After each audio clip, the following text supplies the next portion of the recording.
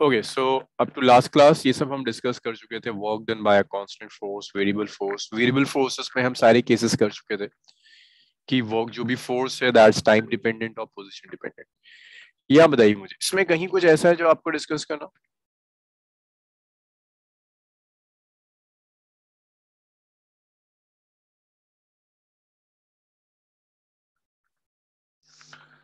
हाँ जी, इसमें बताओ। इसमें कहीं कुछ ऐसा है जहाँ कोई डाउट हो वर्क डन में जो डिस्कस करना हो आपको?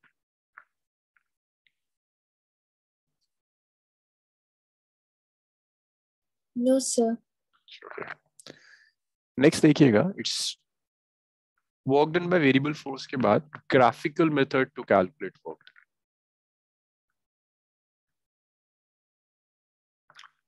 last class में एब्सेंट थे आप? क्या हो गया था?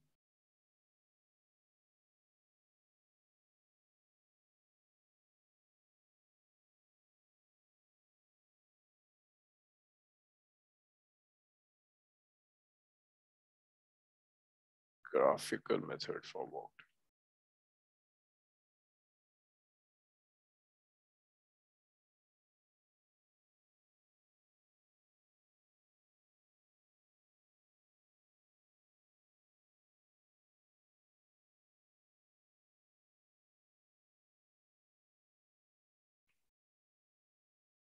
So, देखिए graphical method for work done में आपको अगर फोर्स वर्सेस डिस्प्लेसमेंट ग्राफ दिया है एक्स एक्सिस पर डिस्प्लेसमेंट है वाई एक्सिस पर फोर्स ये force versus displacement graph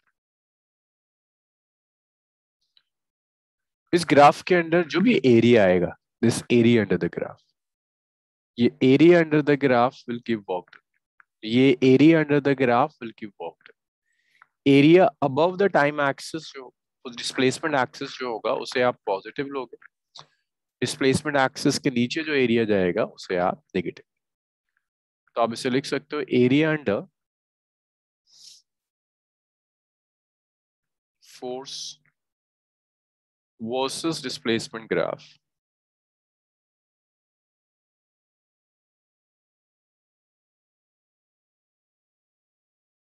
is walked.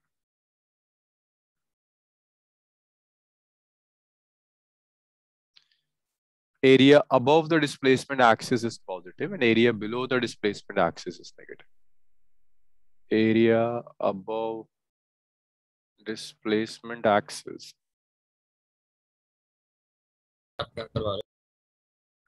is positive and area below displacement axis is negative.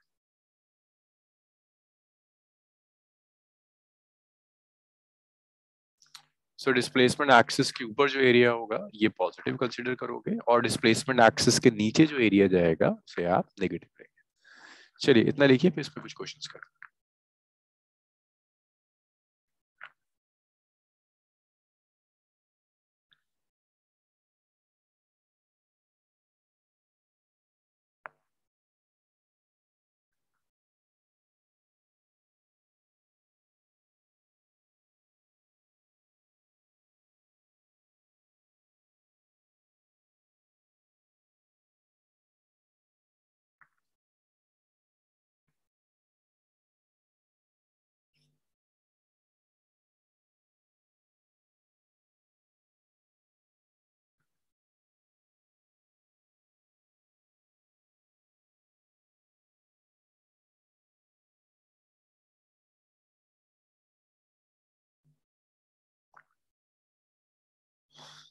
so this is graphical method for work done work done calculate करने के लिए आप ये graphical method use करोगे। Displacement axis के ऊपर वाले area को पॉजिटिव लेंगे। डिस्प्लेसमेंट एक्सिस के नीचे जो एरिया जाएगा, उसे आप नेगेटिव सो देखिए।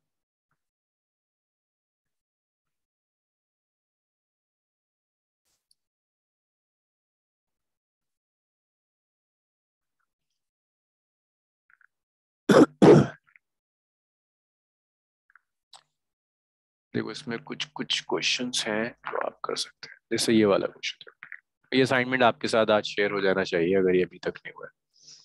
क्वेश्चन नंबर सेवन है। आपको फोर्स वर्सेस डिस्प्लेसमेंट ग्राफ दिया हुआ है। कह रहा है वर्क डन कैलकुलेट करो zero to eight so Akshat, बताओगे मुझे कैसे आएगा वर्क डन ज़ीरो से एट सेकेंड्स में?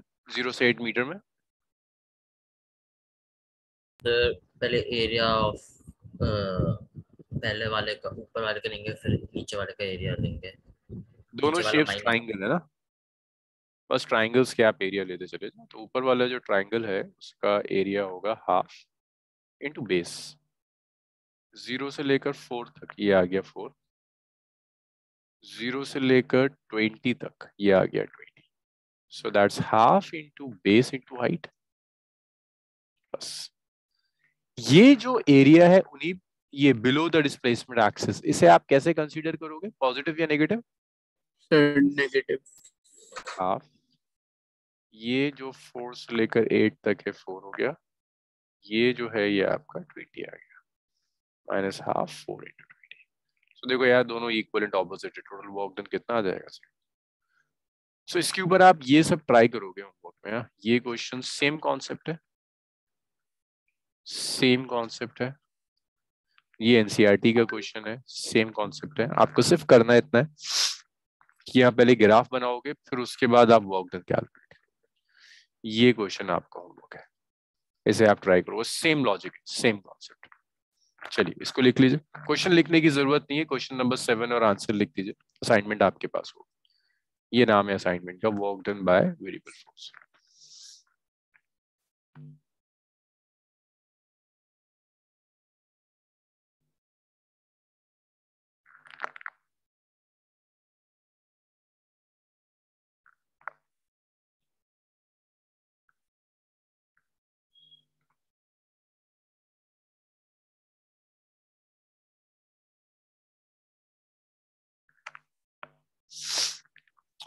लिख लिया था आपने?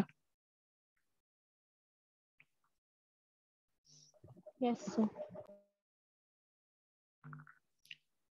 चलिए नेक्स्ट देखिए।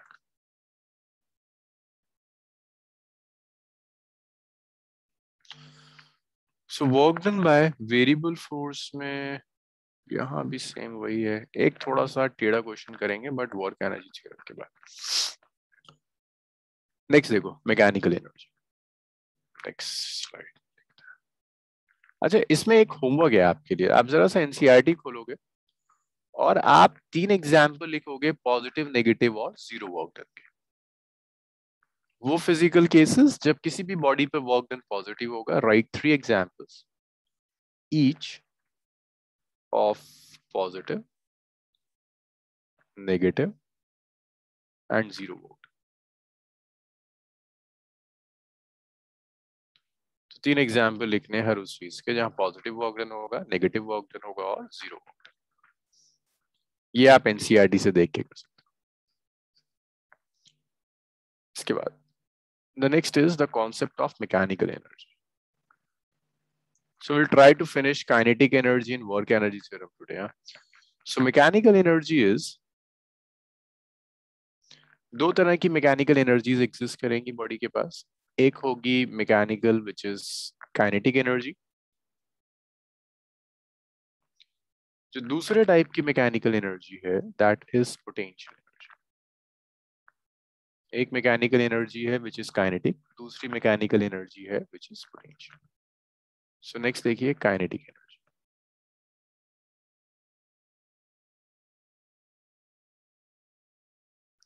so kinetic energy किसी भी बॉडी में मोशन की वजह से आएगी। अगर एक बॉडी मूव कर रही है तो due to motion body will have some kinetic energy cause of kinetic energy is motion ये बॉडी के मोशन की वजह से आती है।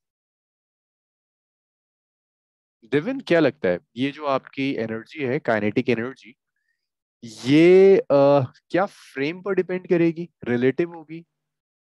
या फ्रेम से इंडिपेंडेंट होती है? सर फ्रेम पे डिपेंड करेगी। फ्रेम पे डिपेंड करेगी because motion is relative motion depend करता है आप कहाँ से देख रहे हो। सो काइनेटिक एनर्जी भी डिपेंड करेगी आप कहाँ से देख रहे हो। So it depends on frame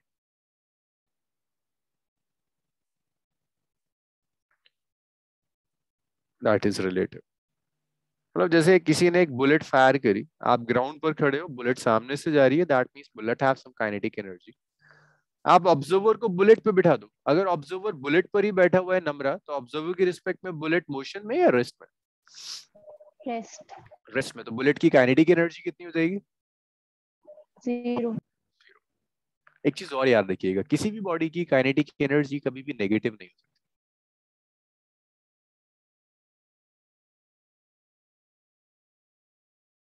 kinetic energy negative नहीं हो सकती।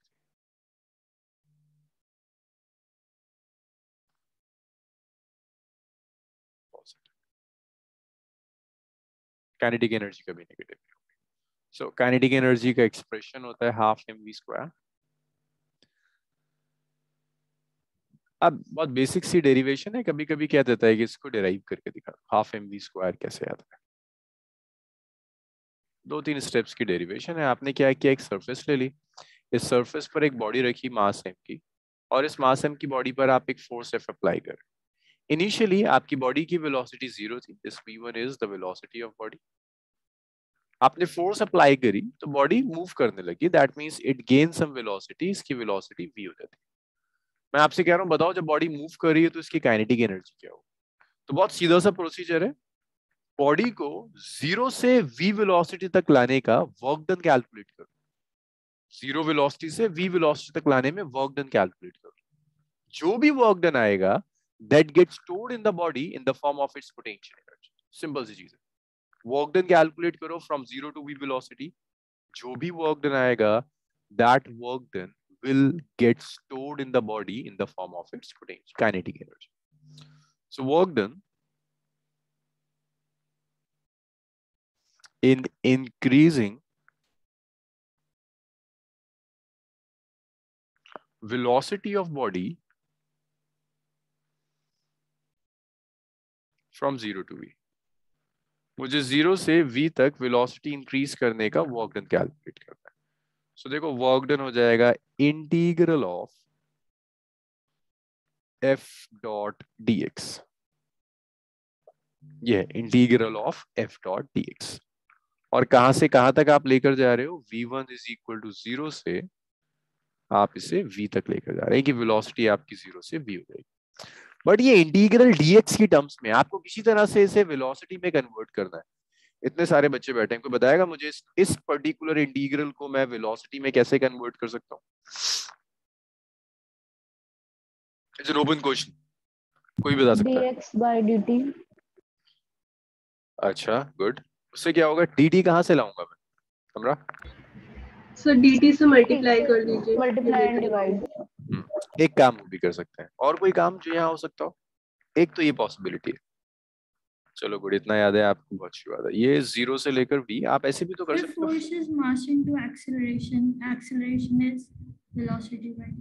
वेरी गुड आप ऐसे भी लिख सकते हो। मास इनटू एक्सीलरेशन इसे आपने कहा zero to V acceleration is DV over dt m dv over dt dot dx and what is dx over dt noha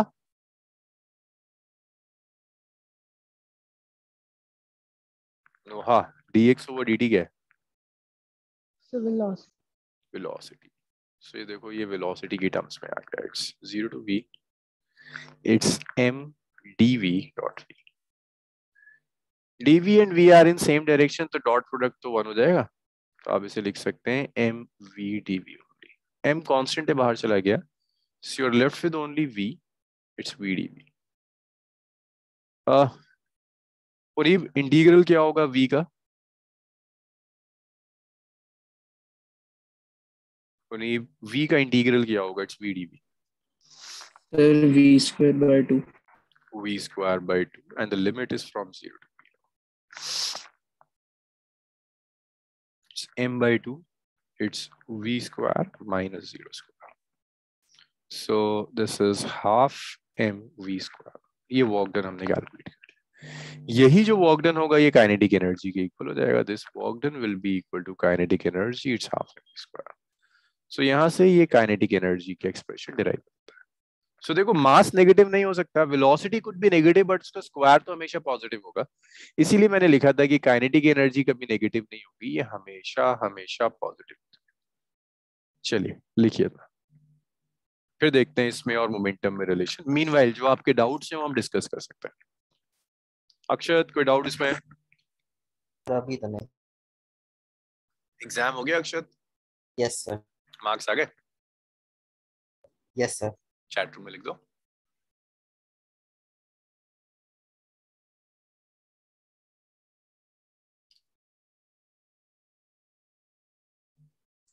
अरे गुड पर अभी आजकल सारे बच्चों के ऐसे ही क्यों होते हैं? तो मैं जितनों से पूछता हूँ या तो स्कूल वालों ने एक सेट करा हुआ है कि इतने ही है। क्या ऑनलाइन था? यस सर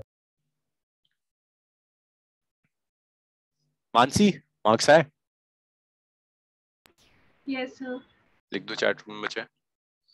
और अनवी आपके भी आगे होंगे अब तो। यस सर लिखो लिखो प्लीज़ चैट रूम में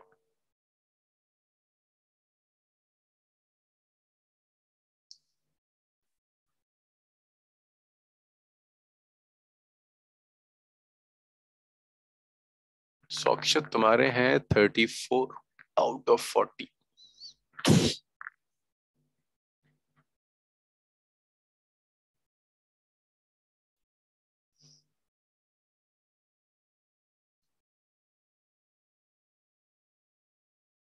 Anvi बस ट्वेंटी मार्क्स का था?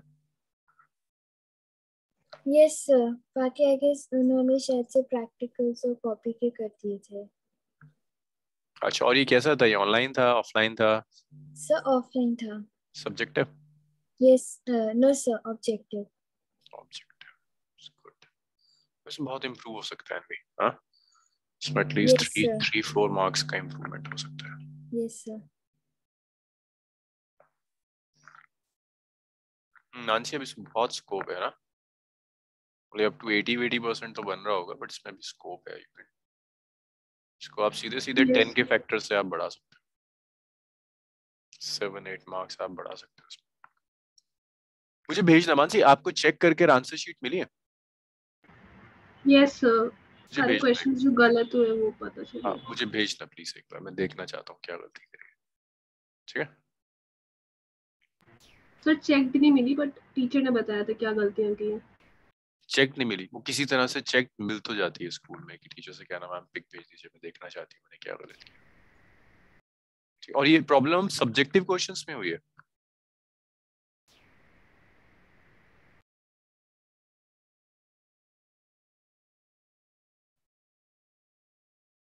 मुझे भेजना प्लीज़ हाँ।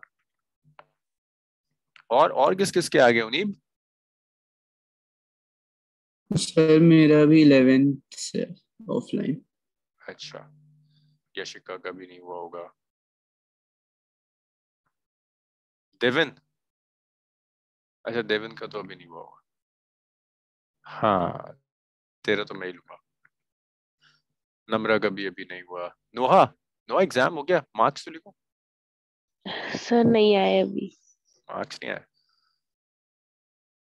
सबिया का इलेवन से है ना सर ट्वेल्थ ट्वेल्थ से, और सबिया ने बहुत मस्ती करी पिछले दो वीक का कोई डर नहीं एग्ज़ाम का।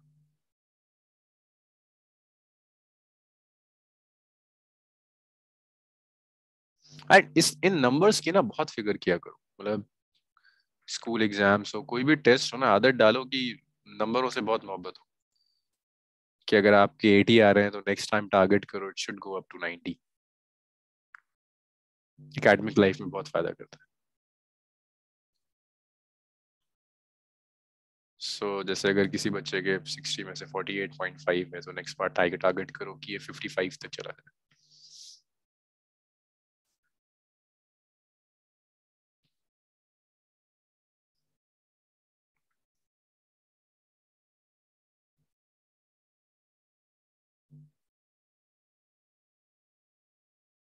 चलिए। सर अगर हमारा मोशन नहीं हुआ तो क्या काइनेटिक एनर्जी ज़ीरो होगी? डेफिनेटली बिल्कुल। जिस फ्रेम की रिस्पेक्ट में मोशन नहीं होगा काइनेटिक एनर्जी ज़ीरो और जो बच्चे केवीपीवाई के लिए कर रहे हैं ना थोड़ा सा अपना सेल्फ स्टडी का टाइम डिवोट करना just for the assignments of KVPY आपको आज से या कल से वो असाइनमेंट्स मिलने शुरू हो जाएँगे। असाइनमेंट्स भी और previous years questions that this KVPY will be the toughest exam जो आप कभी दोगे। It's even tougher than JEE Mains best ये होता है कि जब आप इलेवेंथ में ही केवीपी वाई दे देते हो ना तो आपका कॉन्फिडेंस लेवल अच्छा हो जाता है। और आपको एटलीस्ट पता होता है कि ओके एग्ज़ाम का पैटर्न कैसा है। एज कंपेयर टू वो बच्चा जो बस ट्वेल्थ के बाद ही जे मेन्स देना जाएगा, जो दो बार केवीपी वाई दे देता है, एक बार इलेवेंथ में दे देता है, एक बार ट्वेल्थ में देता है। दैट्स अ डिफरेंट स्टोरी की क्रैक होता है या नहीं होता। बट आपको एग्ज़ाम्स के पैटर्न्स का बहुत अच्छा आइडिया होता है। आप जो प्रिपेयर करके जाते हैं बार बार एक ही चीज़ आप पढ़ रहे हो अलग अलग टीचर्स से पढ़ रहे हो अलग अलग तरह के क्वेश्चन कर रहे हो, कहीं ना कहीं आपकी परमानेंट मेमोरी में जाता है। वो हेल्प करेगा आपको जे को फ़र्स्ट अटेम्प्ट में क्रैक करने।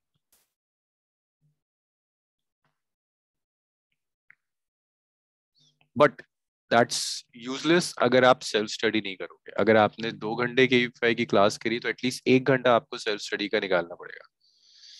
अभी आपको देखना है कि ये स्कूल टाइमिंग्स में आपको स्कूल बंक करना पड़ेगा अर्ली मॉर्निंग उठना होगा या कहीं और कुछ टाइमिंग सेट करनी बट वो एक से दो घंटा आपको निकालना पड़ेगा के के लिए। वरना कुछ ऐसा हो जाएगा कि एक बंदा ना माउंट एवरेस्ट पे चढ़ने के लिए जाता है और पीक पर बस पहुँचने से थोड़ा सा एक दो किलोमीटर दूर वापस आ जाता है। उसको बेवकूफ़ी कहोगे। जब इतनी एफर्ट्स लगा रहे हो ना कि रात में क्लासेस कर रहे हो पेन ले रहे हो इतना बस थोड़ी सी एफर्ट्स और सेल्फ स्टडी और अगर किसी को लगता है नहीं होती सेल्फ स्टडी तो मुझे बताओ, फिर मैं बुलाकर किसी के साथ बिठा के कराऊँगा। मतलब कभी कभी होता है, हमें पता होता है कि हम इतने डिसिप्लिन नहीं है कि दो घंटे बैठ पाए रेगुलरली जो शायद एटी परसेंट स्टूडेंट्स के साथ ये इश्यूज़ होते हैं। तो हमें बताओ, फिर वो हमारी है कि आपके साथ किसी को बुला करके बिठा रहे कि उसका सिर्फ़ इतनी रिस्पॉन्सिबिलिटी होगी कि आप दो घंटे उसके सामने बैठे हो, आपने जो टारगेट बनाया वो आप पूरा करो। बट दैट्स इम्पोर्टेंट उसके बिना तो सारी मेहनत बर्बाद हो जाएगी।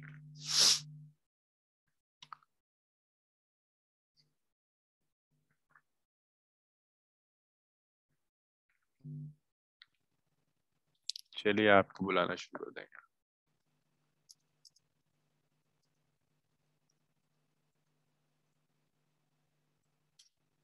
ठीक है सालिक नंबर आपको बुलाना शुरू कर देंगे। जो सेल्फ स्टडी टीम बहुत ज़्यादा कुछ नहीं करती। जैसे बात है, वहाँ पर आपकी टीचर्स नहीं है जो आपको करा रहे हैं। डाउट्स वगैरह होंगे तो कभी वो टीचर्स भी अवेलेबल हो सकते हैं बट रेगुलरली वो लोग नहीं होते। लेकिन जो लोग हैं ना, वो इतने एक्सपर्ट हैं कि आपको दो घंटे आप एक बार कह दोगे कि मुझे दो घंटे बैठना है तो वो आपसे वो शेड्यूल फॉलो करा सकते हैं।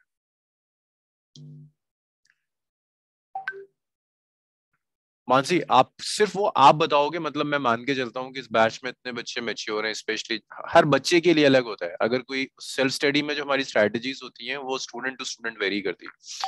अगर कोई ऐसा बच्चा है जिसका मुझे पता है इसे कुछ नहीं आता तो फिर उसके लिए प्लान हम बनाते हैं कि हम इसे क्या पढ़ाएँगे। लेकिन अगर मुझे पता है ना स्मार्ट बच्चा है, सिर्फ़ इसके साथ प्रॉब्लम है कि ये रेगुलर पंक्चुअलिटी के साथ नहीं बैठ सकता, जो हम सबके साथ होता है। कि दो दिन तो हम बैठ गए, लेकिन आज छह के छह दिन नहीं बैठ सकते। तो उनका ये काम होगा, वो आपको बुलाएँगे।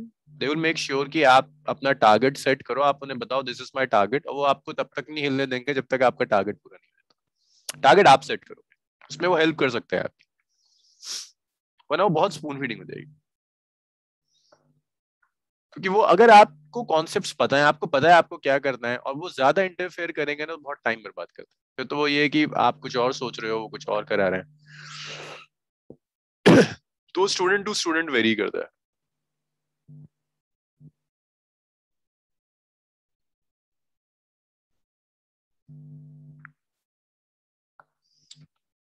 सो so, जो अच्छा बच्चा है मैं उसका तो ये है कि आप टारगेट बना के दो से कि मुझे इतना करना है।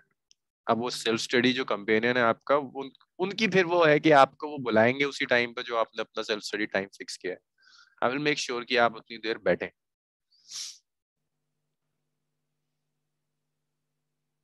हाँ नम्रा, वो सिर्फ़ तुम्हारे साथ नहीं बच्चे सबके साथ होता है। जहाँ पर कंपल्शन नहीं होता ना, वहाँ ऐसा ही होता है। एटलीस्ट अगर हम फैकल्टीज के बाद भी फिक्स टाइमिंग्स ना हो ना क्लास की, कि चार बजे आना ही है मंडे टू फ्राइडे सो हम भी शायद कभी ना लें। मतलब जो हमारी रैंडम डाउट क्लासेस होती हैं, वो कभी हो ही नहीं पाती। और जिसमें हमें नहीं पता होता ना कंपल्शन है कि हमें इस टाइम आना ही है, वही चॉइस है कि ओके जब हम चाहे दे सकते हैं। साल भर में हो ही नहीं पाती वो डाउट क्लासेस वो सिर्फ़ आपके साथ नहीं, वो सबके साथ ऐसी होती है। इसीलिए वो सेल्फ स्टडी कंपेनियन की टीम है। जो लोग हैं, वो पंक्चुअल है। मतलब उनके अंदर सिर्फ़ एक ही क्वालिटी देखकर उन्हें हायर किया जाता है। दे आर डैम पंक्चुअल पूरे साल अगर उनसे नौ बजे कहा जाएगा तो पूरे साल वो नौ बजे अवेलेबल होंगे।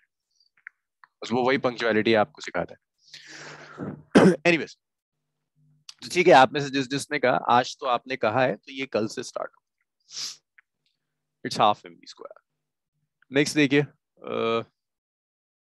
अब नेक्स्ट टास्क होता है किसी तरह से ना इसे आप मोमेंटम की टर्म्स में कन्वर्ट करो।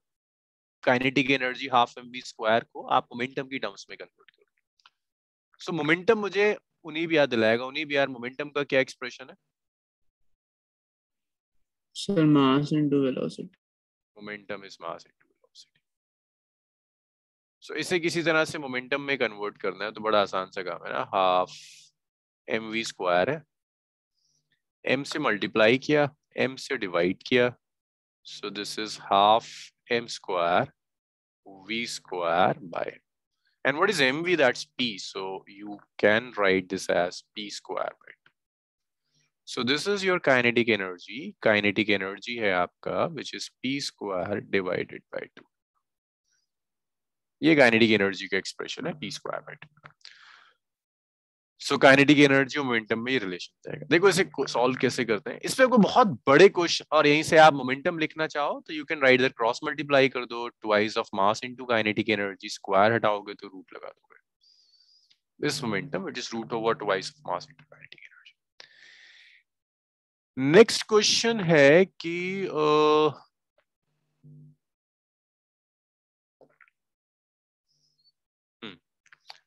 अब मैं आपसे कहता क्वेश्चन एक जनरल सा आता है, कहता है मोमेंटम को कुछ परसेंट से चेंज किया, बताइए काइनेटिक एनर्जी में कितना चेंज आएगा?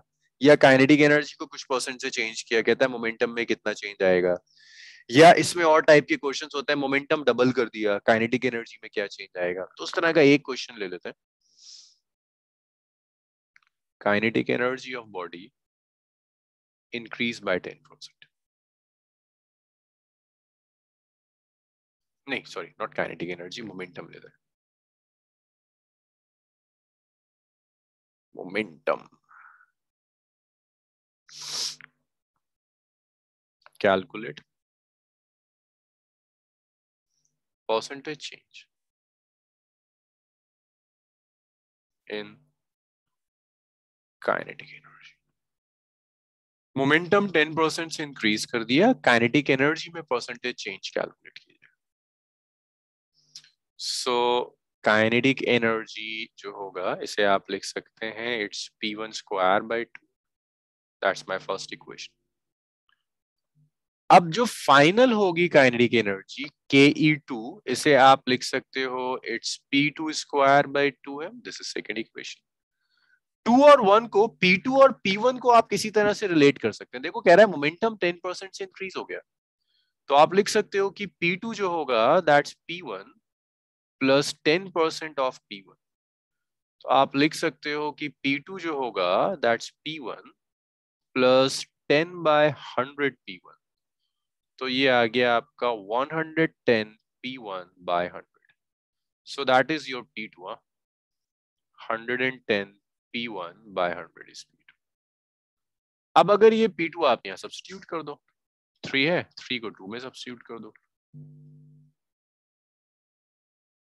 सो जब आप सब्सिट्यूट करोगे तो काइनेटिक एनर्जी आ जाएगा P2 two which is hundred add ten p one by hundred square into one by two so और ये आ गया ना one point one p one square sorry by two so यार 1.1 p1 हो जाता है 1.21 स्क्वायर कर दोगे ना तो p1 स्क्वायर by 2 दैट्स के मुझे चाहिए percentage change in kinetic energy अब ये percentage change seventh eight class में आपने सीखा होगा, ये कुछ ऐसे करते हैं फाइनल काइनेटिक एनर्जी लेते हैं इनिशियल काइनेटिक एनर्जी लेते हैं इनिशियल काइनेटिक एनर्जी से डिवाइड करते हैं हंड्रेड से मल्टीप्लाई करते हैं। सो के ई टू है। अब ये आप कैलकुलेट कर कर ना, आप बताओगे मुझे कितना आ रहा है। करिए जरा इसे। सॉरी ऊपर से लिखोगे ना आप लोग तो। चलिए।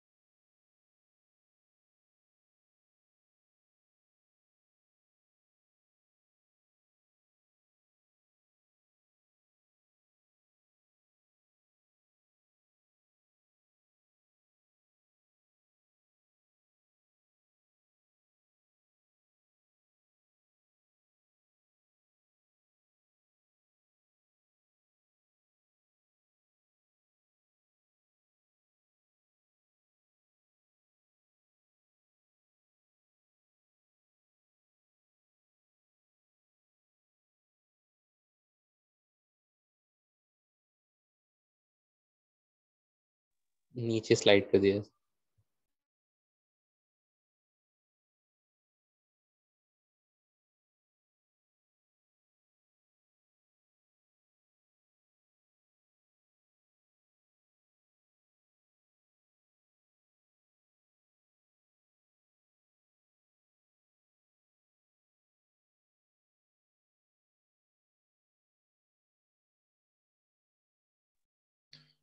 गुड देवन सही है आंसर और बताओ, इतना क्यों टाइम लग रहा है? इतना लेंदी थोड़ी ना? सबिया? यशिका, सही आ रहा है गुड नम्रा, गड़बड़े कैलकुलेशन में. चेक कीजिए.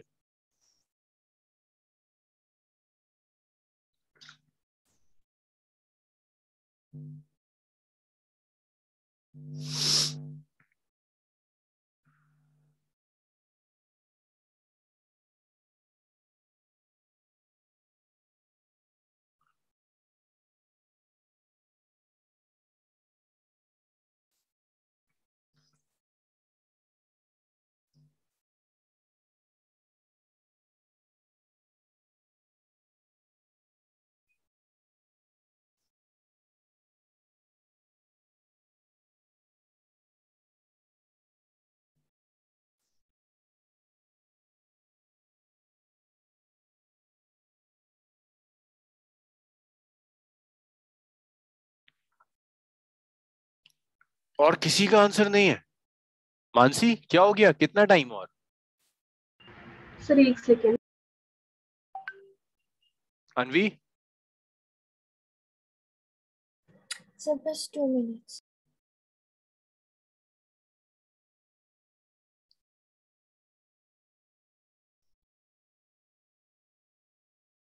उन्हीं अक्षत? सर अक्षत की छोटी सी कैलकुलेशन है छोटी सी।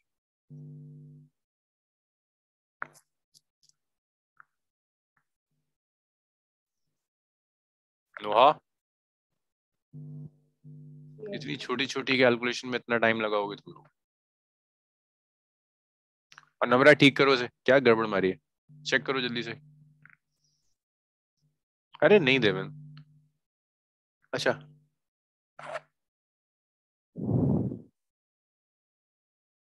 अच्छा आप कुछ और पूछ रहे हैं देवन ठीक। उनीब ठीक आ रहा है, मानसी ठीक है, गुड। जी देवन बिल्कुल कांस्टेंट मतलब जब भी, नहीं कांस्टेंट मींस किसी एक इंस्टेंट पर कोई एक वेलोसिटी होगी ना, उसी के कोरोस्पॉन्डिंग काइनेटिक एनर्जी होगी। मान लो दो बजे दस मीटर पर सेकंड थी तो काइनेटिक एनर्जी दस मीटर पर सेकंड के कोरोस्पॉन्डिंग है। दो बज के एक सेकंड पर ग्यारह हो गई वेलोसिटी तो काइनेटिक एनर्जी उसके अकॉर्डिंग हो जाएगी। गुड, सालिक, ठीक आ रहा है।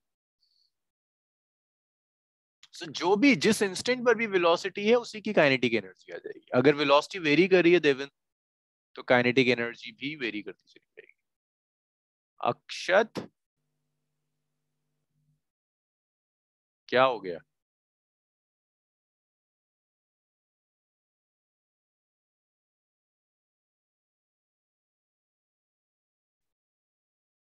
P one square by two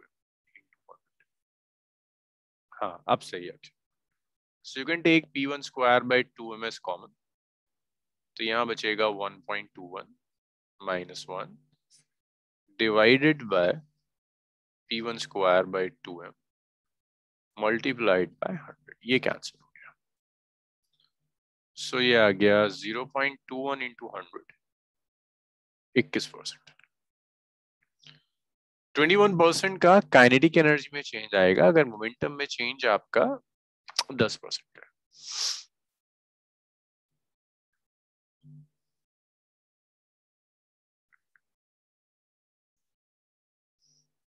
इसे आप एरर एनालिसिस से भी कर सकते हैं।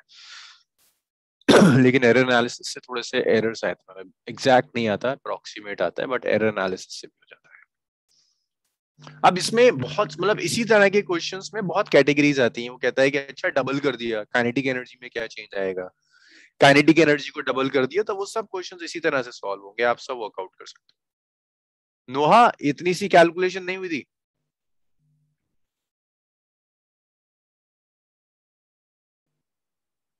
चलो जी, ये हो गया।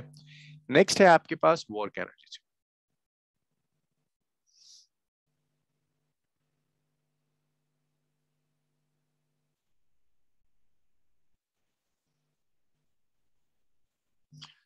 सो देखिए वर्क एनर्जी थ्योरम का क्या मतलब है वर्क एनर्जी थ्योरम सिर्फ़ ये कहता है कि जो भी बॉडी पर वर्क डन होगा, is equal to change in kinetic energy. Work done on the body is equal to change in the kinetic energy of the body. आप ऐसे लिख सकते हैं कि वर्क डन और जब मैं वर्क डन ले रहा हूँ ना that means total work done ऐसा हो सकता है कि एक ही टाइम पर कई फोर्सेस हों जो बॉडी पर वर्क डन कर रही हो।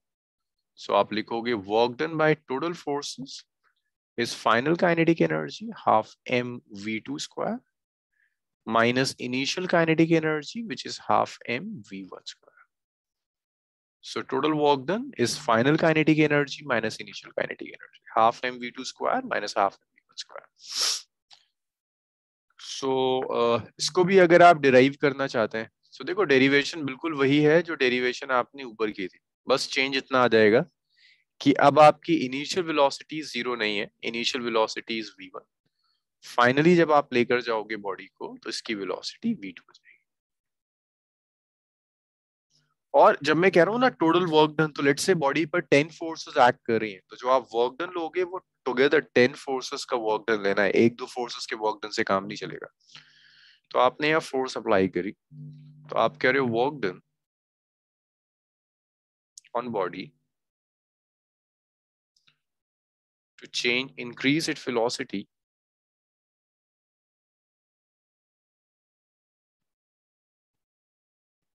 from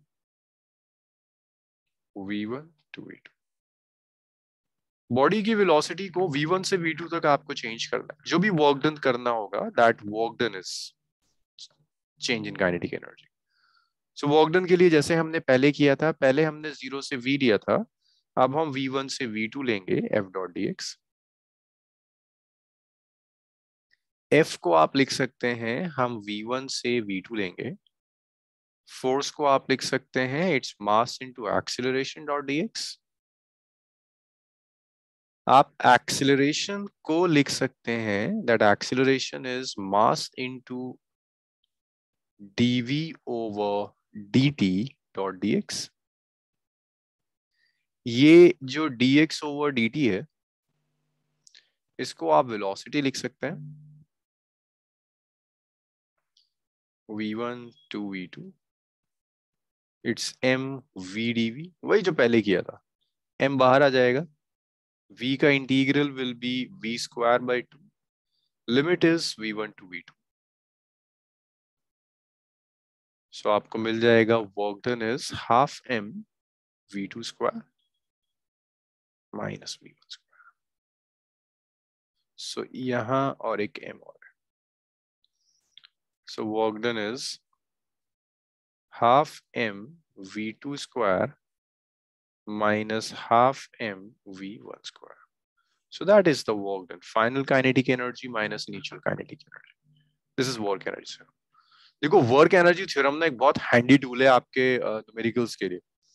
कई बड़ी डिफ़िकल्ट सिचुएशंस होंगी जो वर्क एनर्जी थ्योरम से बहुत आसानी से हो जाती है। इतना लिखो, फिर इस पर न्यूमेरिकल्स देखते हैं। वर्क एनर्जी थ्योरम पर किस किस टाइप के न्यूमेरिकल्स आपको मिलते हैं? इसे लिखिए पहले। Questions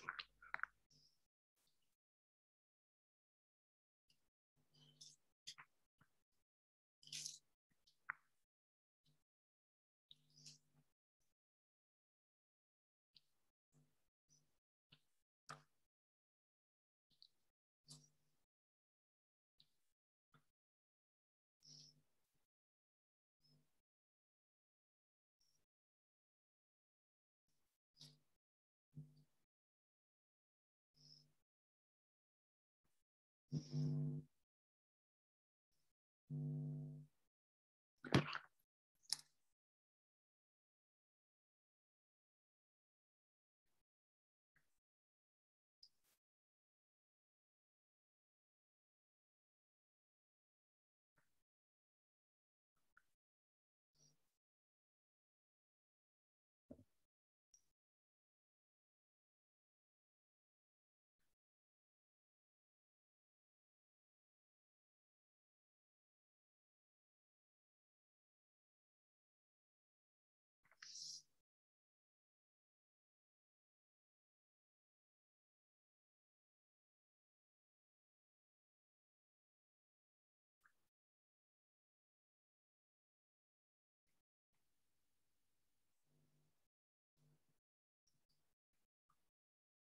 Mm-hmm.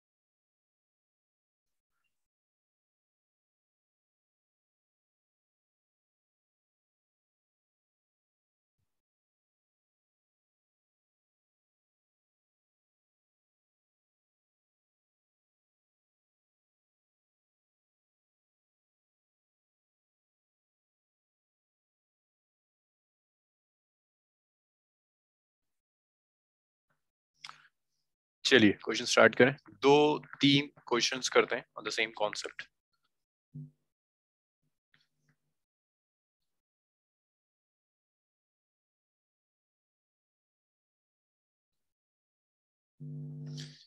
देखिए जर पहला क्वेश्चन है bullet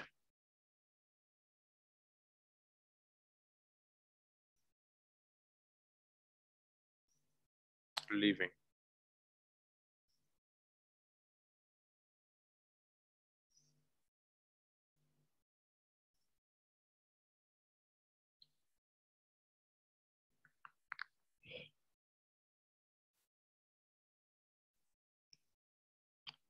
The muzzle of a rifle.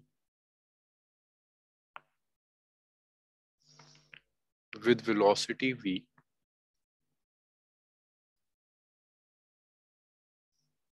Penetrates a plank.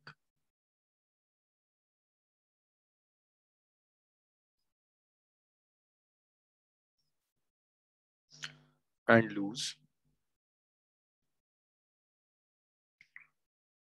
one fifth of its velocity.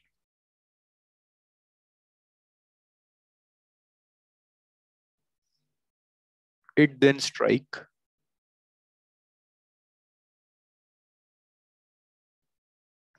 second plank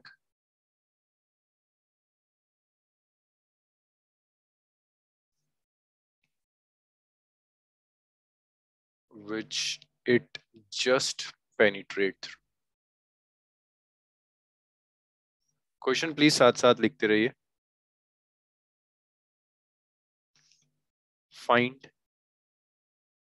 ratio of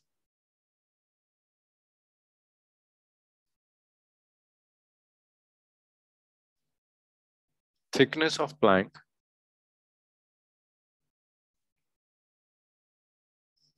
supposing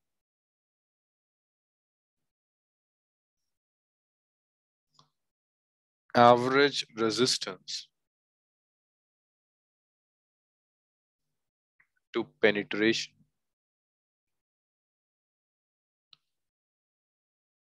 is same in both cases.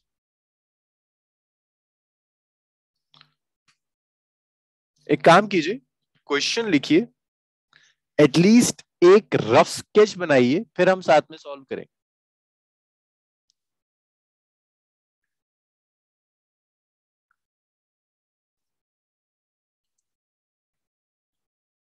तो लिखिए एक रफ स्केच बनाइए, फिर इसको साथ में सॉल्व करेंगे। पे क्वेश्चंस के टाइप्स बहुत होते हैं व्हाट कैन आई तो चार क्वेश्चंस तो एटलीस्ट करते हैं इसमें।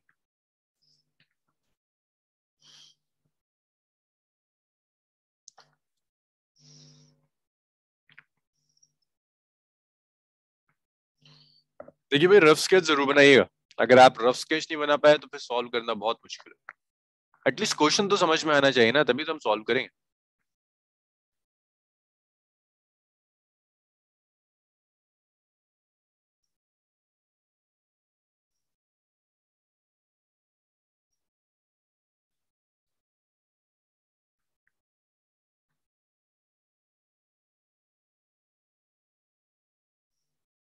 ठीक है ना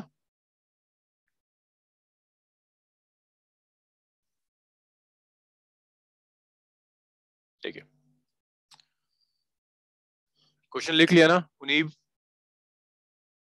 यशिका। Yes, देखिए आपको ये प्लैंक गिवन है मुझे नहीं पता प्लैंक की क्या विर्थ गिवन है। ये बुलेट आती है वी वेलोसिटी से। प्लैंक की थिकनेस निकालनी let's say the thickness of the plank is t पहले प्लैंक में एंटर करती है जब बाहर निकलती है तो बुलेट की जो स्पीड है that speed is v by five one fifth हो गई। कोई एक्सप्लेन करेगा ऐसे कि वेलोसिटी डिक्रीज क्यों हुई होगी? प्लैंक में एंटर करके जब बुलेट दूसरे एंड पर पहुँचती तो वेलोसिटी कम हो जाती है। क्यों कम हुई होगी? सर अपोजिट साइड से सर फोर्स लग रही होगी। भाई प्लैंक क्या कर रहा होगा? अगर ये बुलेट एंटर कर रही है दिस इज़ बुलेट अगर ये बुलेट प्लैंक में एंटर कर रही है तो ये वुड इस बुलेट के ऊपर एक ऑपोजिट डायरेक्शन में फोर्स एक्सर्ट कर रहा होगा कॉन्टिन्यूस फोर्स एक्ट कर रही है उस फोर्स की वजह से धीरे धीरे धीरे धीरे इसकी वेलोसिटी कम होगी अब मैं आपसे सिर्फ़ ये कह रहा हूँ कि जो वर्क डन होगा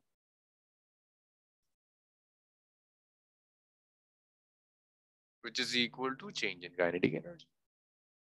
Work done कौन करेगा? F is resistive force of the plank.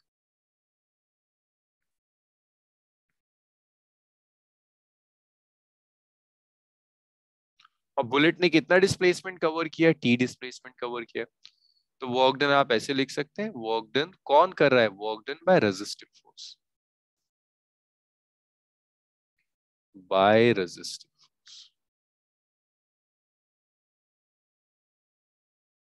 तो work done by resistive force होगा resistive force dot displacement which is equal to change in kinetic energy, which is half m v2 square minus half m v1 square. तो जब आप F dot S ले रहे हैं force dot displacement ले रहे हैं तो ये होगा एफ़ एस कॉस भाई फोर्स और डिस्प्लेसमेंट में एंगल कितना है? बॉडी राइट में जा रही है फोर्स लेफ़्ट में एक्ट कर रही है एंगल कितना होगा? 180 180 fs cos 180 is half m v2 square minus half m v1 square. So, जब आप वैल्यूज़ रखना शुरू करेंगे, देखिए फोर्स f है डिस्प्लेसमेंट टी है। एक एंड से दूसरे एंड तक डिस्प्लेसमेंट टी रहा। Cos 180 is minus 1 it's half m v2 जब बाहर आया तो वेलोसिटी कितनी है? V by 5 square minus half m जब एंटर कर रहा था वी वेलोसिटी से एंटर कर रहा है। तो ये आ गया minus of f t is half m it's v square by 25 minus half m it's v square so अगर मैं इस पूरे को सॉल्व करूँ minus f t is LCM कितना आ जाएगा? 50 एलसीएम एक बार में ले लेते ना 50 आ जाएगा। तो ये आ जाएगा m v square minus twenty five m v square so ये आ गया minus of f t is minus of 24 by 50 mv square. That's my first equation. So, minus ft आ गया, which is 24 by 50 mv square. अब इसके बाद देखो इस बुलेट के साथ क्या होता है। ये बुलेट दूसरे प्लैंक में एंटर करती है। यही बुलेट दूसरे प्लैंक में। अब जब बुलेट एंटर कर रही है तो वेलोसिटी कितनी है? V by 5 same thickness same plank है सेम रेजिस्टिव फोर्स फिर कहता है just penetrate through that means जब बाहर आती है तो बुलेट की वेलोसिटी ज़ीरो हो जाती है। सो so, ये आपने फ़र्स्ट प्लैंक के लिए लगाया था ये आप ऐसे ही पैरेलल सेकंड प्लैंक के लिए लगा प्लैंक टू के तो जब आप सेकंड प्लैंक के लिए लगाओगे वर्क एनर्जी थ्योरम तो ऐसे तो लिखोगे force dot s is half m v two square minus half m v one square so ये आ जाएगा f s cos 180 half m v two square means half m by v two तो zero है ना, जब बाहर निकल गया zero square minus half m v1 square, so it's v by 5 square. Displacement t होगा तो ये आ गया minus of f T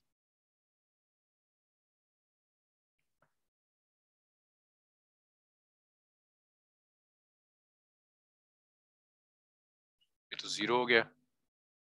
Minus half m v square by twenty five अब देखें वो कैलकुलेट करवा क्या रहा है।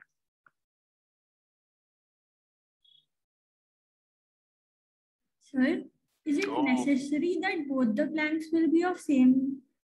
नहीं अलग अलग थिकनेस है तभी तो रेशियो पूछ रहे हैं सॉरी वरना तो कैंसिल हो जाएगा F1. और जो सेकंड प्लैंक है इसका T2 so you have minus of FT2 it's minus of half m v square by 25 that's equation number अब आप एक काम कर लो जरा डिवाइड कर लेना इसके बाद वन और टू को। और डिवाइड करने के बाद T1 और T2 का रेशियो कैलकुलेट करके मुझे बता देना कि रेशियो क्या आता है। चलिए करिए इतना काम करिए। पहले इतना लिखो। फिर नेक्स्ट करेंगे।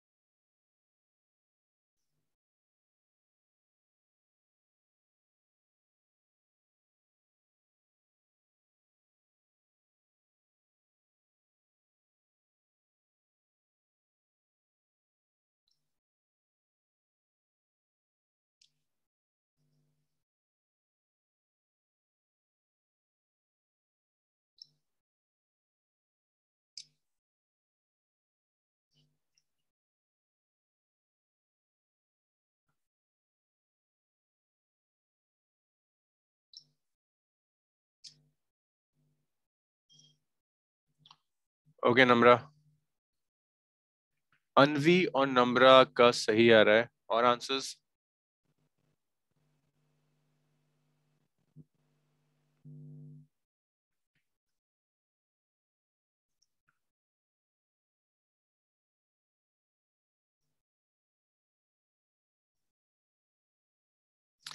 इसको ढंग से कर लो, इसके बाद के क्वेश्चन आपको करते हैं। नेक्स्ट क्वेश्चन में मैं कोई हेल्प नहीं करूँगा। नहीं यार देविन कुछ गड़बड़ है। यशिका सही आ रहा है।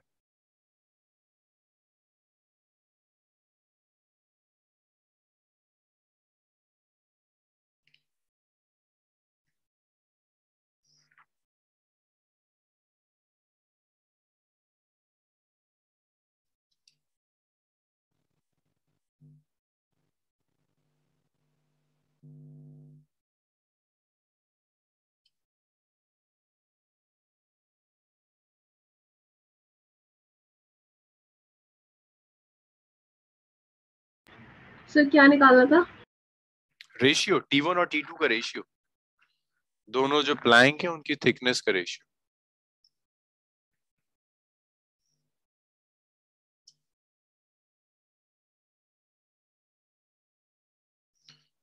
दोनों प्लैंक की थिकनेस का रेशियो निकालना है।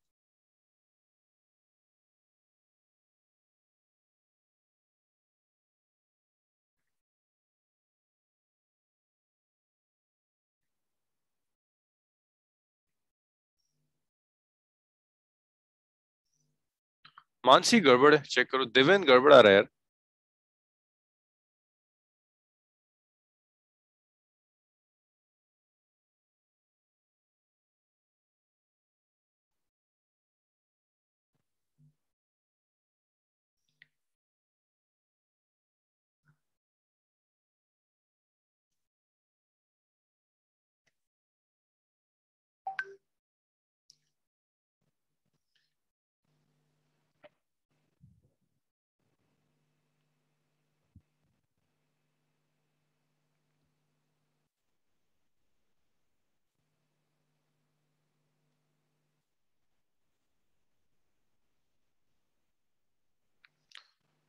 तो अब तो कुछ भी नहीं बचा इस क्वेश्चन में। इतना टाइम क्यों लग रहा है?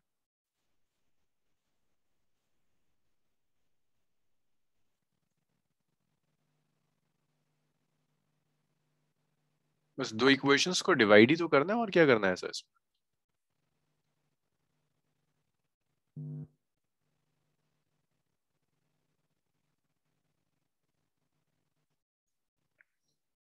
हाँ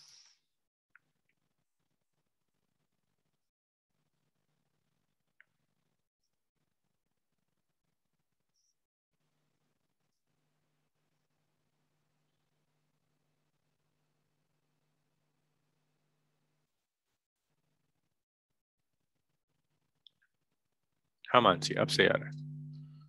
अनवी आंसर अच्छा अनवी का तो आ गया था। अक्षत? अक्षत का कनेक्ट नहीं है। मुनीब मुनीब तुम कर रहे हो सॉल्व नोहा सही आ रहा है गुड यस सर एक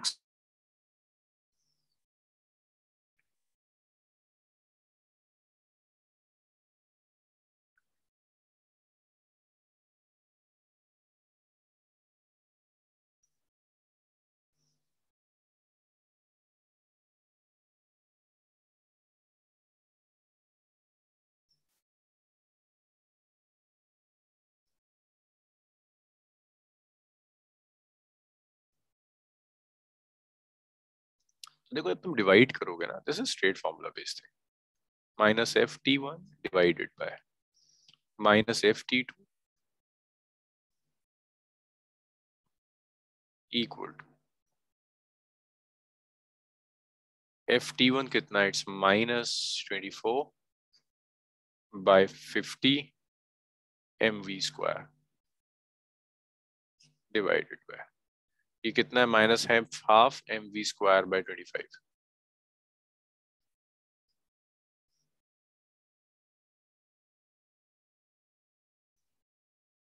ये फिफ्टी हो गया।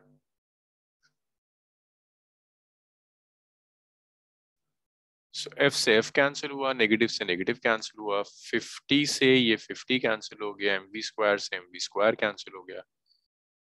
तो टी वन और टी टू का रेशियो आ गया ट्वेंटी फोर रेशियो ये ratio twenty four ratio one हो जाएगा। चलिए, इसे आप खुद सॉल्व कीजिए।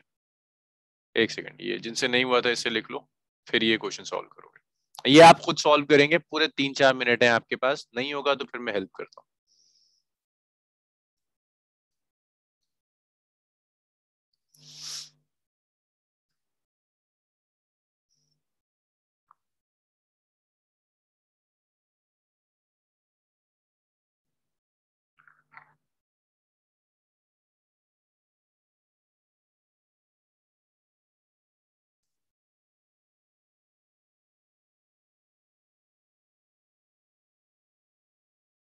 सर थोड़ा जूम कर दीजिए क्वेश्चन एक बार ये सब लिख लेना प्रश्न।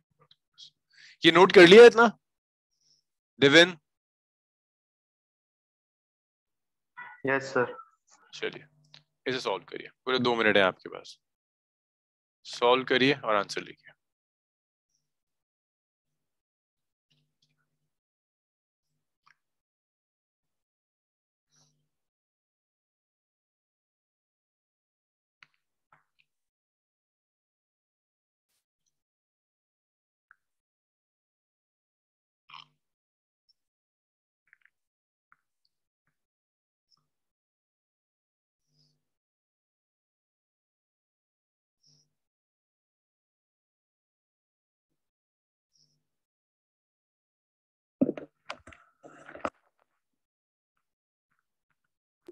सर हैंड दे दीजिए देखिए एक पार्टिकल है, यहाँ से स्लाइड करता है ए पॉइंट से। और बी से सी जो हॉरिजॉन्टल पार्ट है, देखो पार्टिकल स्लाइड से track with elevated ends and a flat central part the flat part has a length of 3 metre ये 3 मीटर है। For the flat part the coefficient of friction is 0.2 flat part में friction है, जो 0.2 दिया। Particle को ए point से release किया which is at a height of 1.5 metre तो ये एच आपको गिवन है 1.5 मीटर पार्टिकल कहाँ जाकर रुकेगा? तो उसे आप ऐसे कह सकते हो, पार्टिकल जाकर रुकेगा क्यों? फ्रिक्शन की वजह से रुक जाएगा। तो आप ऐसे लिख सकते हैं कि वर्क डन आप कैलकुलेट करो वर्क डन बाय फ्रिक्शन आप पहले तो बी पॉइंट पर इसकी वेलोसिटी निकाल दो पार्टिकल की। निकाल सकते हो? एच हाइट से गिरेगा, सारी पोटेंशियल एनर्जी काइनेटिक में कन्वर्ट होगी। तो बी पॉइंट पर आप पार्टिकल की वेलोसिटी निकाल दो, आप ऐसे निकालोगे M G H is half M V square M से एम कैंसिल हो गया। जी टेन ले लो। एच वन पॉइंट फाइव है। वी स्क्वायर बाई टू हो जाएगा। तो आप यहाँ से लिख सकते हैं कि वी स्क्वायर थर्टी हो जाएगा। वी आ जाएगा root thirty metre per second तो आपको ये पता चल गया जब यहाँ होगा तो वेलोसिटी होगी root thirty metre per second अब जब ये रुकेगा जहाँ जाकर भी रुकेगा वहाँ ये तो इनिशियल वेलोसिटी कह दो आप। जहाँ जाकर रुकेगा वहाँ फाइनल वेलोसिटी कितनी होगी? ज़ीरो जहाँ भी जाकर रुकेगा वहाँ फाइनल वेलोसिटी कितनी हो जाएगी? ज़ीरो वर्क डन कौन सी फोर्स कर रही होगी यहाँ? वर्क डन भी तो चाहिए। कौन सी फोर्स वर्क डन कर रही होगी? फ्रिक्शन फ्लैट पार्ट पर फ्रिक्शन एक्ट कर रहा है। तो आप ऐसे वर्क एनर्जी थ्योरम अप्लाई कर सकते हो। Work done is final kinetic energy minus initial kinetic energy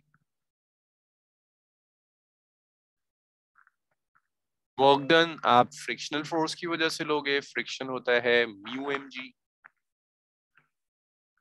work done ऐसे आएगा ना force dot displacement half M final velocity कितनी है? ज़ीरो इनिशियल कितनी है? एम वी वन जो वी वन ऊपर था। जब आप वर्क डन लेंगे फ्रिक्शन का तो देखो अब कुछ तो स्टेप्स खुद करना मतलब पूरा ही मैं सॉल्व कर दूँगा तो क्या फ़ायदा? Mu M G displacement X है। ये देखना कि एंगल 180 होगा तो ये वर्क डन ज़ीरो हो जाएगा। ये एक्स निकाल लो एक बार ये एक्स मिल गया तो तुम्हें पता चल जाएगा कहाँ रुकेगा। करो इतना हिंट काफ़ी होना चाहिए। करो करो। क्योंकि सीखोगे तब जब खुद करो।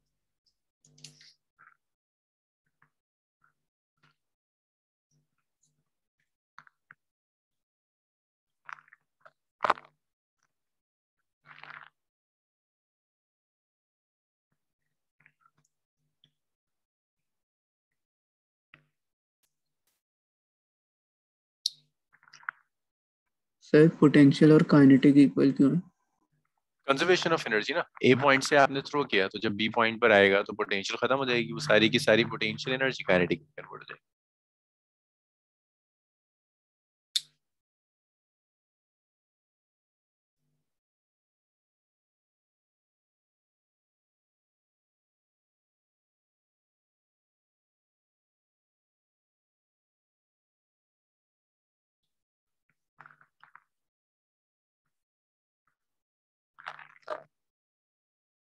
एक्स निकाल के बता दो बस मुझे फिर बता दो रुके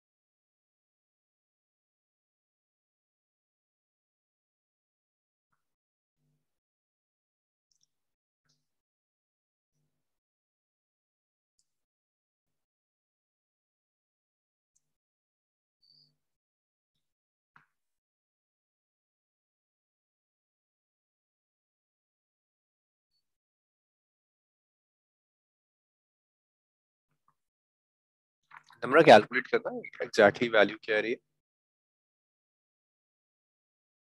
नंबर रूट थर्टी का स्क्वायर होगा जहाँ तक मुझे लग रहा है।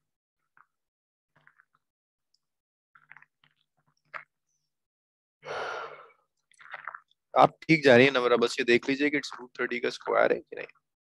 आप बताइए एक्स कितना है। सर स्क्रॉल डाउन कर दीजिएगा।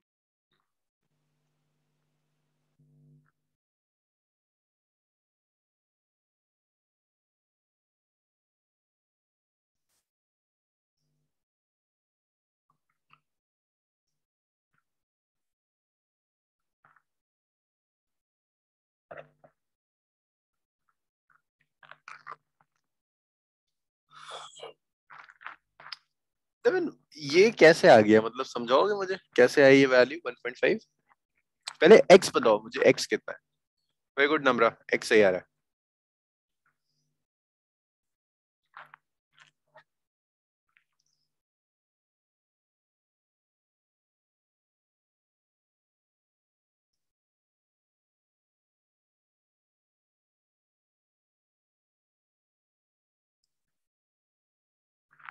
Yashika it should be thirty ना थर्टी बाय फोर नहीं मानसी गड़बड़ है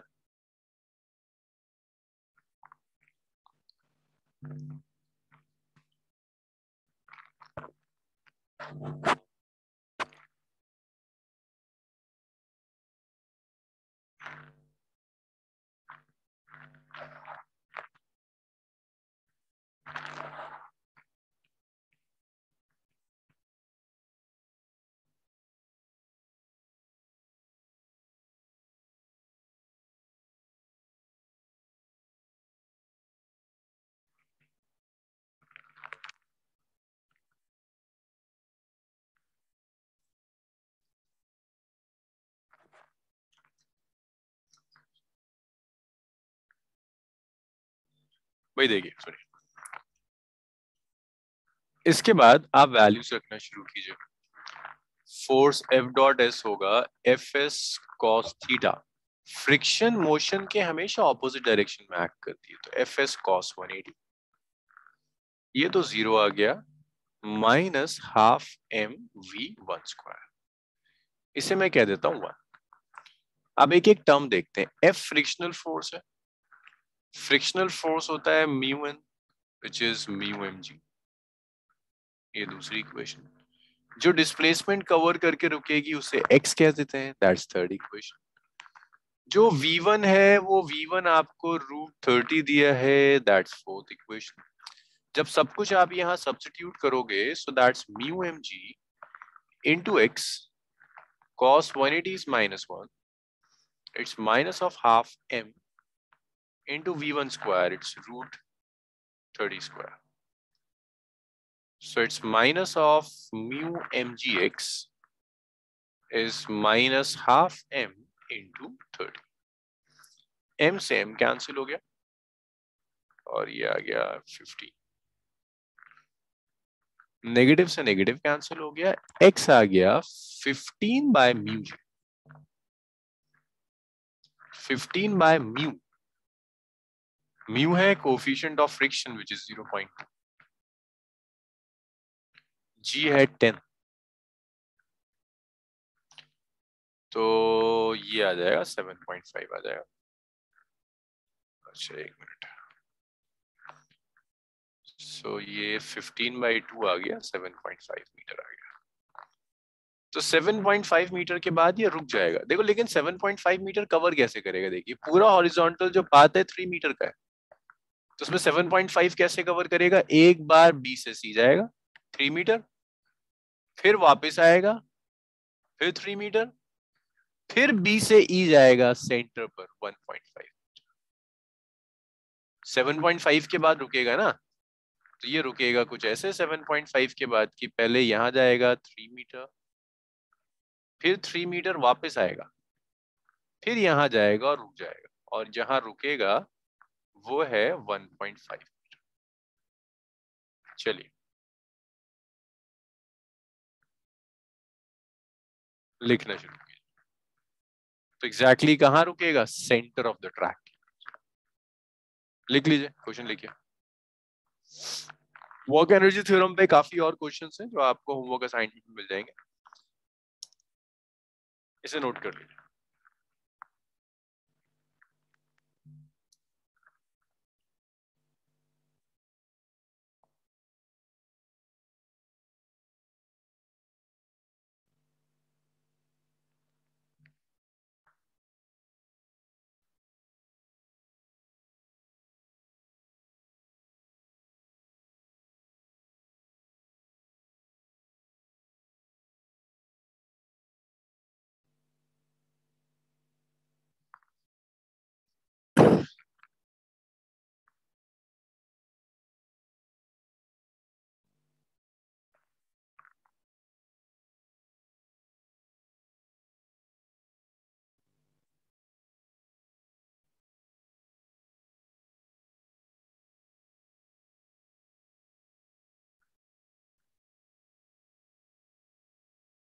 इसमें बताओ मुझे अगर कहीं कोई अब भी डाउट है अगर।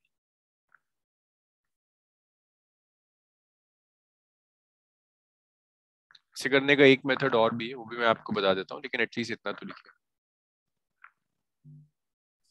Particular D path D point पे क्यों नहीं जाएगा? जैसे हम कभी स्केटिंग रिंग वगैरह में जाते हैं तो नॉर्मली तो पूरा कर्व लेके वापस आता है। तो हाँ। में ये वापस क्यों आ गया? सी से बी पे आ गया डी से बी पे वापस क्यों. ये जाएगा तो ऊपर भी। लेकिन सी से डी में कोई फ्रिक्शन नहीं है। तो बताओ, क्या सी से डी में वेलोसिटी में कोई लॉस होगा काइनेटिक एनर्जी में? काइनेटिक एनर्जी में लॉस कहाँ होगा जहाँ फ्रिक्शन है? सो so ये डेफिनेटली ए से आया और डी तक पहुंचेगा। लेकिन हम इस सी से डी वाले को काउंट नहीं करेंगे, क्योंकि ये सी से डी वाले में तो फ्रिक्शन ही नहीं है। काइनेटिक एनर्जी का लॉस ही नहीं होगा लॉस होगा सिर्फ़ बी और सी के बीच में। इसीलिए हम इसे कंसिडर कर ये जा रहा होगा ऊपर भी, फिर ऊपर से नीचे भी आएगा we don't consider it friction नहीं है, कोई लॉस नहीं होगा। जो वेलोसिटी सी पर होगी, उसी से डी पर जाएगा, फिर दोबारा सी पर वैसे आ जाएगा। इसलिए आप ठीक कह रही ऊपर जाएगा but we won't consider it क्योंकि यहाँ फ्रिक्शन नहीं है काइनेटिक एनर्जी में चेंज नहीं आएगा। चेंज सिर्फ़ डी से सी में आएगा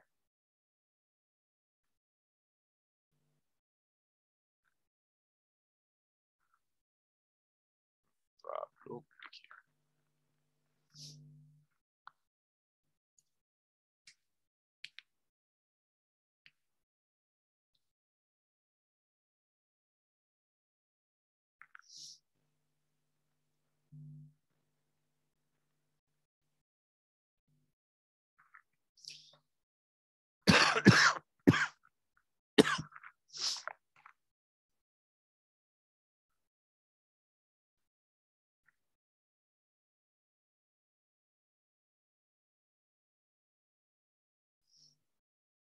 इसी को करने के लिए ना आप एक मेथड और यूज़ कर सकते थे। इतना लिख लो फिर मैं बताता हूँ।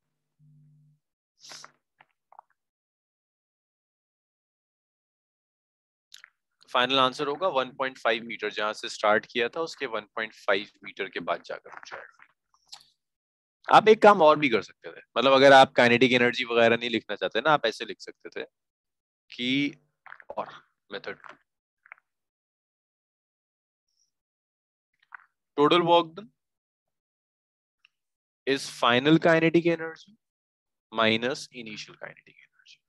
अब मुझे बस ये बता दो कि इस पूरे में ए से लेकर डी गया, फिर ए पर आ गया टोटल वर्क डन किस किस फोर्सेस का वर्क डन आ रहा होगा? ये सोच के बताओ। एक एक मेथड मैंने समझा दिया, एक में तुम लोग कुछ मेरी हेल्प करो। मानसी, बताओ मुझे ए से लेकर डी गया, फिर ऑसिलेट कर रहा है। कितनी फोर्सेस होंगी जिनका वर्क डन आ रहा होगा? सर फ्रिक्शन फ्रिक्शन तो है। Okay okay. एक और कोई और फोर्स किसी और फोर्स का भी वर्क डन हो या sir wait wait gravitational force very good तो यहाँ दो वर्क डन होंगे work done by gravity plus work done by friction initially भी रेस्ट में था रेस्ट से स्टार्ट करता है ए से। और जहाँ रुकेगा वहाँ भी रेस्ट में आ जाएगा। तो फाइनल और इनिशियल काइनेटिक एनर्जीज कितनी होंगी नम्रा? नम्रा। सर आपने क्या पूछा? मैंने कहा वो रेस्ट से स्टार्ट करता है और बाद में भी रेस्ट में आता है तो इनिशियल और फाइनल काइनेटिक एनर्जीज कितनी है? सेम होंगी।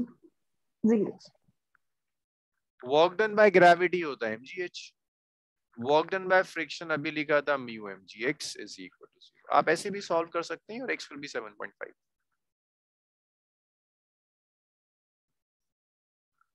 सो ये जब आप एग्जैक्ट सिर्फ़ वर्क एनर्जी थ्योरम लगाते हो तो ब्यूटी देख रहे हो वर्क एनर्जी थ्योरम की है, तीन लाइन के अंदर सॉल्व हो गया, वरना आप कंजर्वेशन ऑफ़ एनर्जी लगाओ काइनेटिक एनर्जी निकालो। ये जो लिखा था टोटल वर्क डन उसका ये मतलब है, जितनी भी फोर्सेस है, सबका वर्क डन लो और आठ तो वर्क एनर्जी थ्योरम को मैकेनिक्स में एज शॉर्टकट टेक्निक लिया जाता है। शॉर्टकट टेक्निक है, बहुत सारी चीज़ें वर्क एनर्जी थ्योरम से सॉल्व करती कम स्टेप्स के। So this completes work energy theorem इसमें काफ़ी टाइप के क्वेश्चंस हैं जो आपको असाइनमेंट्स में मिलेंगे और फिर हम इसको नेक्स्ट क्लास में we will continue with potential energy so potential energy हो रहा था। चलिए, आज इसे यहीं छोड़ते हैं नेक्स्ट क्लास में कंटिन्यू करेंगे। चलो थैंक यू